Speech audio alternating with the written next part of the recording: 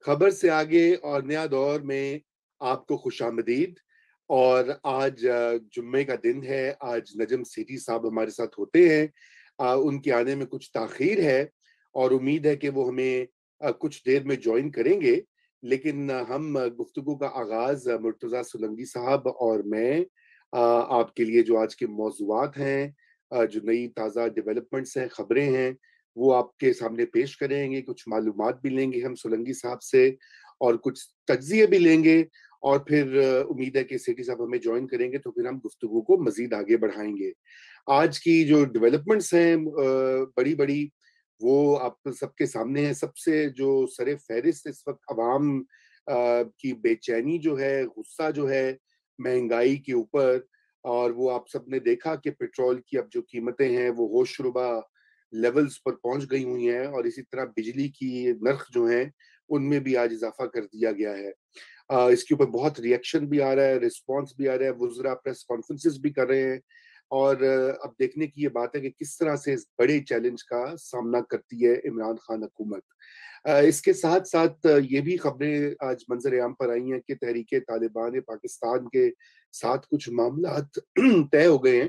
اور کسی نہ کسی قسم کا کوئی معاہدہ یا کوئی کوئی سٹینڈ کوئی سٹینڈ سٹل اگریمنٹ جو ہے وہ عمل میں آ گیا ہے اور اس کی کیا جہتے ہیں، اس کے کیا بیک گراؤنڈ ہے اور اس کا مستقبل کیا ہے؟ بڑا سوال یہ ہے ٹی ایل پی کے ساتھ تو معاہدہ آپ سب کو معلوم ہی ہے کہ ایک ہو چکا ہے، اگرچہ اس کی تفصیلات خنوز پبلک میں آنا باقی ہیں، لیکن وہ معاہدے کے بعد بھی جو ہے وزیر آباد سے ان کی ڈی موبلائزیشن ابھی سٹارٹ نہیں ہوئی کیونکہ سعد رضوی جو ہیں وہ ان کی رہائی سے وہ مشروط ہے اور وہ کب ہوگی وہ انقریب ہونے والی ہے بٹ لیٹ سی کہ کیا آگے ہوتا ہے اور باقی جو بڑی ایک الجھی ہوئی خبر آپ سب کے سامنے ہی ہے کہ اگلے چند ہفتوں میں بڑی تبدیلیاں متوقع ہیں اعلیٰ عہدوں کے اوپر اور ان اعلیٰ عہدوں پر جو تقرریاں اور تبدیلیاں عمل میں آئیں گی اس سے پہلے اس کے بعد کیا ہوگا؟ اس وقت بڑی اسپیکولیشن جاری ہے، آپ دیکھ رہے ہوں گے سوشل میڈیا کے اوپر،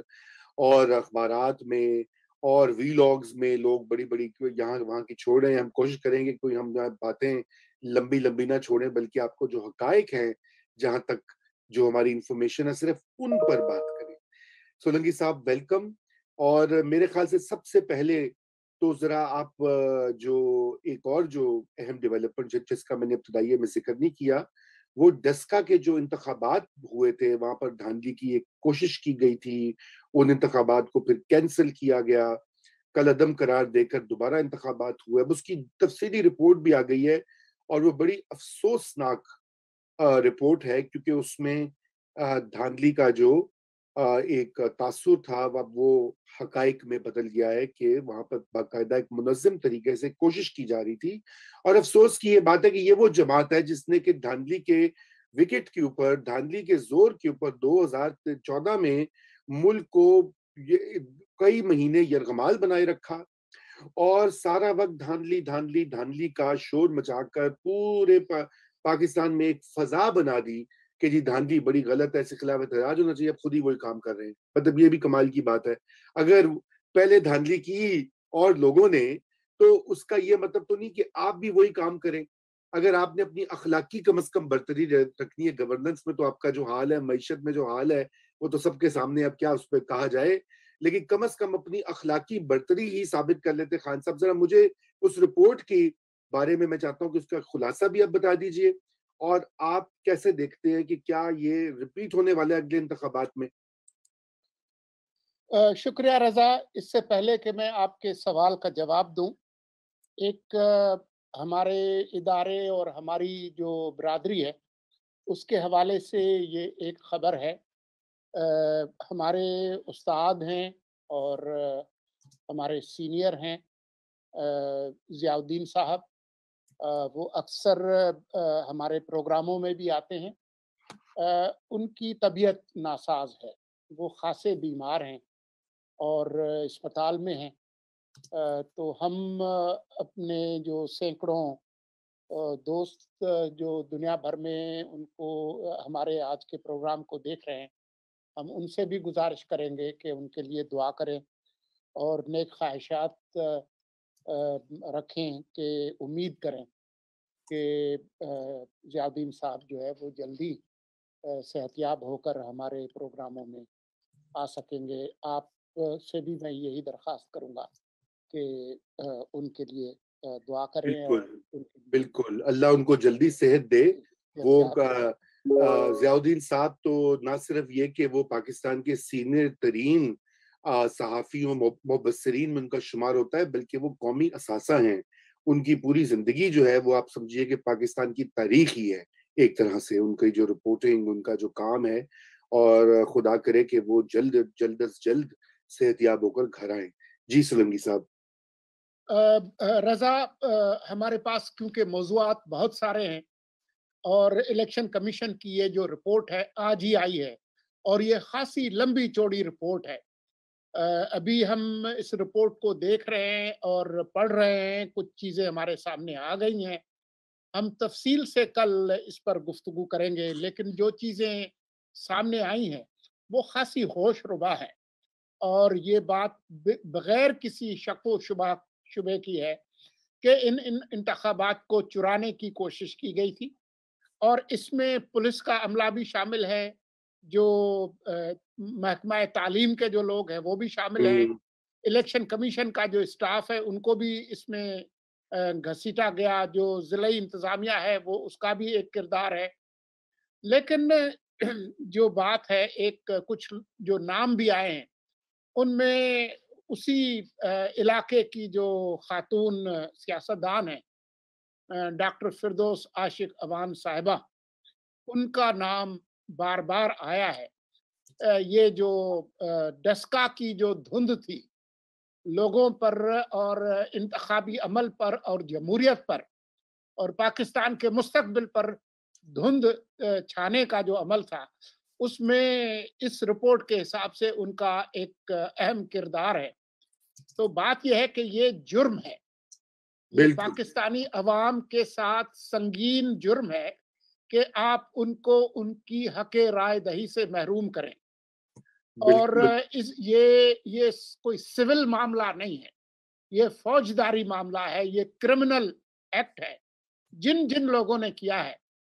اور میں تو یہ سمجھتا ہوں کہ اس رپورٹ کے آنے کے بعد ویسے تو آج بھی قومی اسمبلی اور سینٹ جو ہے اس کے اندر خاصا شور ہوا ہے اور حکومت دونوں ایوانوں سے بھاگ گئی ہے۔ کیونکہ وہ، ان کے پاس کورم کو پورا کرنا، یہ حکومت کی ذمہ داری ہوتی ہے، یہ اپوزیشن کی ذمہ داری نہیں ہوتی ہے۔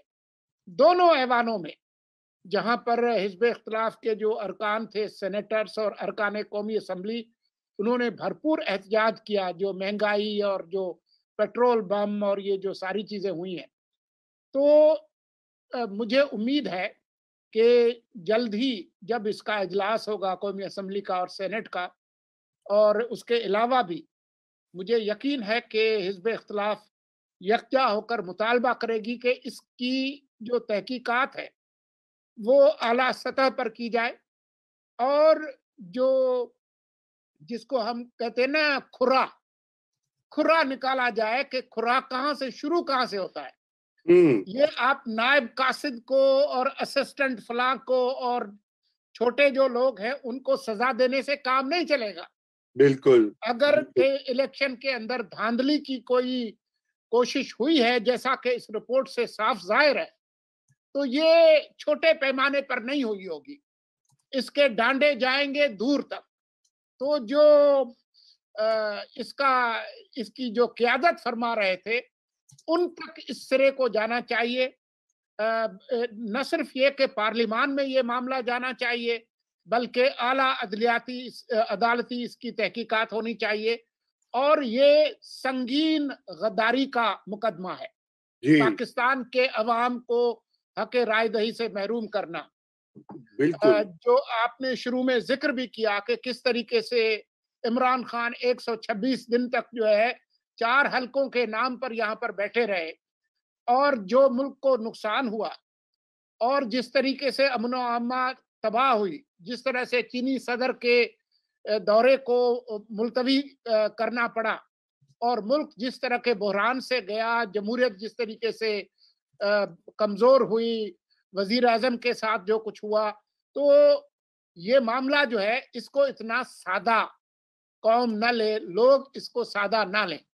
یہ ایک سنجیدہ معاملہ ہے اور معاملہ صرف فردوس عاشق اوان صاحبہ کا نہیں ہے۔ فردوس عاشق اوان صاحبہ اگر اس میں ملوث ہیں تو وہ کوئی آزاد ایجنٹ نہیں ہے۔ وہ ایک جماعت کی لیڈر تھی ان کو ان کے پاس وفاق میں اطلاعات کی ذمہ داریاں بھی تھیں صوبے میں بھی رہی ہیں۔ تو یہ معاملہ جو ہے یہ اس کی بھرپور تحقیقات ہونی چاہیے۔ اور ہم کل مزید تفصیلات جو ہیں اس کی، اس پر ہم گفتگو کریں گے۔